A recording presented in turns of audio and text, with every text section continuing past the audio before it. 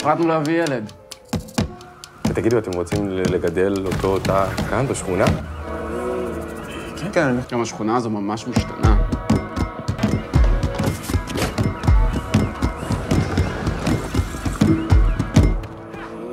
אתה יכול לא להישען על העץ? אה, סליחה, גבר.